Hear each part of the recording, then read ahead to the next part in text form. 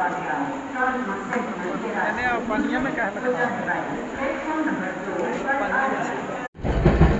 दोस्त, एक खुशखबरी कह सकते हैं। एक नहीं, दो। R R C group D और R R B N T P C के लिए। कल से लोग टेलीग्राम और व्हाट्सएप पे शेयर कर रहे हैं एक नोटिस, और बिल्कुल ऑफिशियल नोटिस है, जिसमें एन टी पी सी की joining D B medical examination D की ज्वाइनिंग मार्च 2023 रिज़ल्ट लगभग लगभग नवंबर, दिसंबर, जनवरी में। फ़िज़िकल इफिशियंसी टेस्ट और फरवरी में आपकी डॉक्यूमेंट वेरिफिकेशन और मेडिकल एग्जामिनेशन होने का एक तरीके से अनऑफिशियल एग्ज़ाम कैलेंडर जारी हुआ है। एग्ज़ाम कैलेंडर बोले तो लोगों का डिमांड था कि कब तक ज्वाइनिंग होगी। तो हुआ है, लेकिन अभी देखिए इसमें कितना इम्प्लीमेंटेशन होता है और अगर ऐसा होता है तो एन की बाकी लेवल का रिज़ल्ट हो सकता है फाइव थ्री टू और जहाँ फोर की पोस्ट है सात के साथ ये क्लियर हो सकती है, क्योंकि अभी टाइम टेबल ने कम दिया है। जैसा कि देख रहे थे कि आपका नवंबर, दिसंबर दिख रहा था एन लेवल फाइव का तो हो सकता है उससे पहले इसमें क्लियर आ जाए आपके पास। तो चलिए नोटिस पे चलते हैं, बाकी चीज़ें समझने के लिए। तो नोटिस में लिखा हुआ है, वही बात है जो आपने पढ़ रखा होगा already filling of vacancy mission mode mission mode में तो 10 लाख भर्ती भी करना है, उसका भी पार्ट हो सकता है ये। लेकिन थोड़ा सा इसमें डाटा थोड़ा कम ज़्यादा है, उसकी बात करेंगे बाद में तो यहाँ पे देखिएगा फिलिंग ऑफ़ दी अकॉर्डिंग फिर constant monitoring filling of the vacancy promotion quota और नॉर्मल दोनों का है। Has been finish there earlier junior railway need to fulfil overall target of 148 यानी एक लाख अड़तालीस हज़ार पोस्ट अप टू मार्च 2023 और मार्च 2023 में है इसमें ये है ज्वाइनिंग का टाइम यानी अपॉइंटमेंट का टाइम अच्छा डेट दिया है मार्च 2023 यानी अभी से कर सकते हैं, करीब करीब सिक्स मंथ टोटल अगर अक्टूबर के लिए ले लिया जाए, तीन चार पाँच दिन तक भी तो अच्छा है। उसके बाद एन का पहला एक पर अगर आप पूरा एन के लिए जिसमें बोला गया है आपको और आइसोलेटेड कैटेगरी भी है इसमें थोड़ा सा।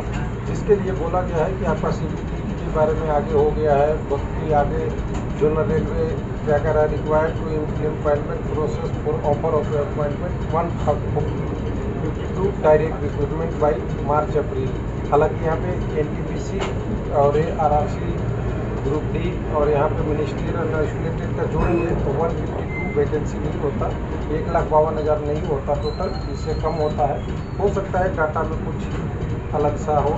तो एक्चुअल में अगर देखें तो ग्रुप डी का एक लाख तीन हज़ार और एन का पैंतीस हज़ार दो सौ इक्यासी।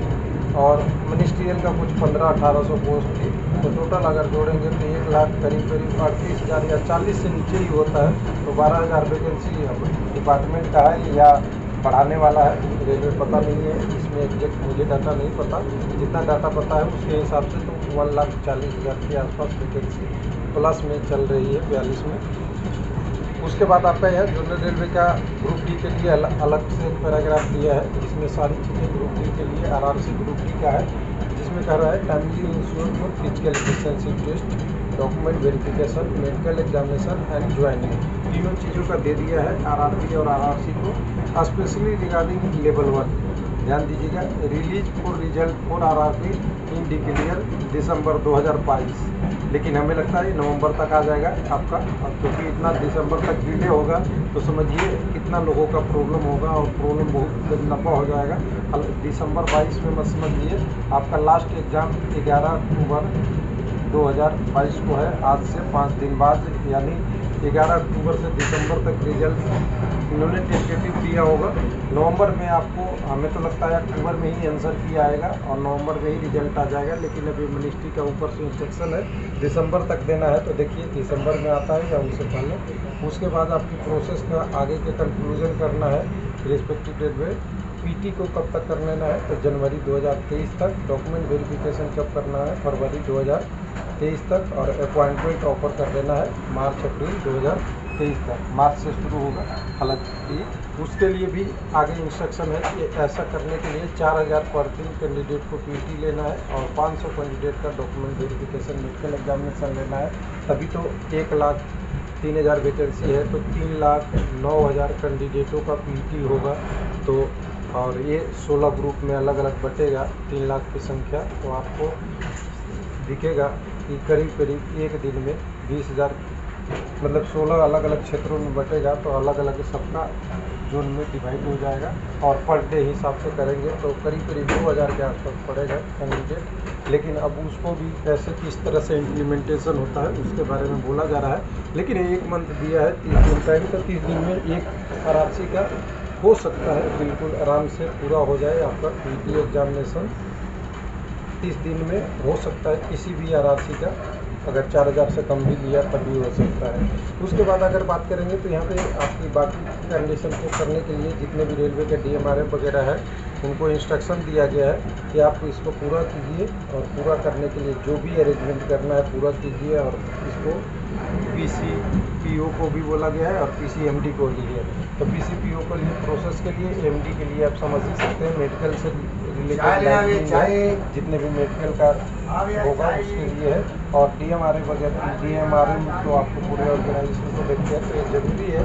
हालाँकि इससे हमें लगता है कि यहाँ पे एक चीज़ लैक कर रही है कि जो एन टी पी सी का तेईस है, इसको दिसंबर तक कर एक मिनट सॉरी यहाँ पे एन टी पी सी की जो जो तेईस इन्होंने दिया है ज्वाइनिंग के लिए उसको थोड़ा सा पहले कर देना चाहिए था अप्रैल बाईस तेईस से। क्योंकि ये प्रोसेस सब कुछ हो चुका है।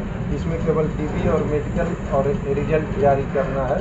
तो इसको हो सकता था, ये जनवरी, फरवरी तक हो सकता था। लेकिन अभी रिज़ल्ट डिले डिले चल रहा है, यानी लेवल सिक्स का लेवल फाइव का, फिर लेवल फोर का, फिर लेवल थ्री का, फिर लेवल का इसके कारण से टाइम काफ़ी एचकूट हो जा रहा है और रेलवे को इसमें प्रोसेस में टाइम लग रही है और प्रोसेस का टाइम एक ही है कि एक अंडरटेकिंग लिया जा रहा है और अंडरटेकिंग के बाद दूसरे में उसको नॉट अलाउ किया जा रहा है और साथ में जो कैंडिडेट नहीं सिलेक्टेड हुए हैं, उनको मौका दिया जा रहा है। तो एक तरफ़ से टाइम कंज्यूमिंग प्रोसेस अब यहाँ पे देखें, दूसरे कंडीशन में एक मिनट नीचे की तरफ़ तो अब इस नोटिस के बाद अब लगता है कि कुछ तेज़ी आएगी, लेकिन सबसे पहला एक चीज़ पे ऑब्जेक्शन जो है रिज़ल्ट के लिए है।